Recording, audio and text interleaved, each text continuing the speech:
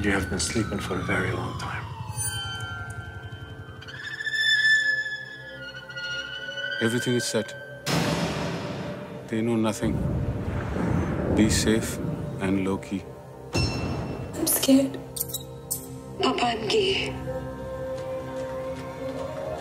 I don't want to get married. Leela, you agreed, didn't you? Did I have a choice?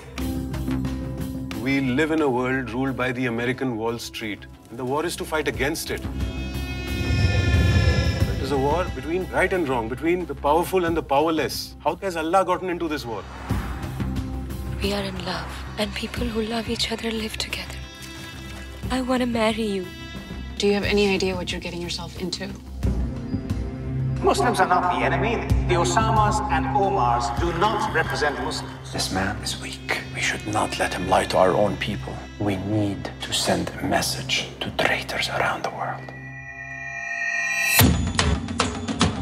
This is India. Every half hour, a rape in India.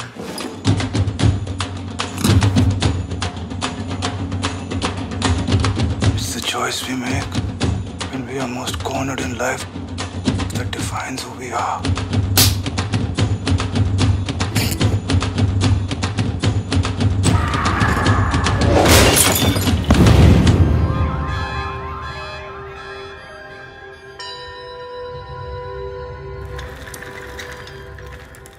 Are you ready to confess?